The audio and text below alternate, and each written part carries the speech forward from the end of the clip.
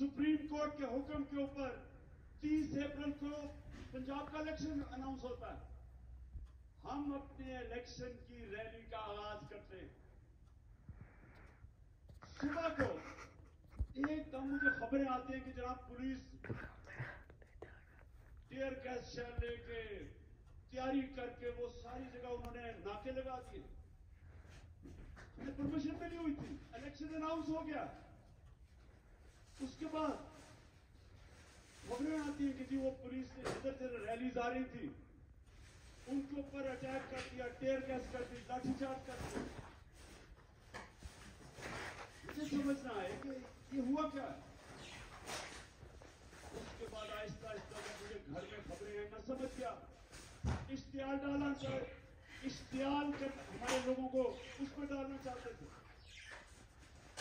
میں نے ریلی ختم کر دی۔ مجھے ڈر تھا کہ یہ تصادم چاہتے ہیں، کیونکہ الیکشن نہیں چاہتے جو الیکشن چاہتا ہے وہ تصادم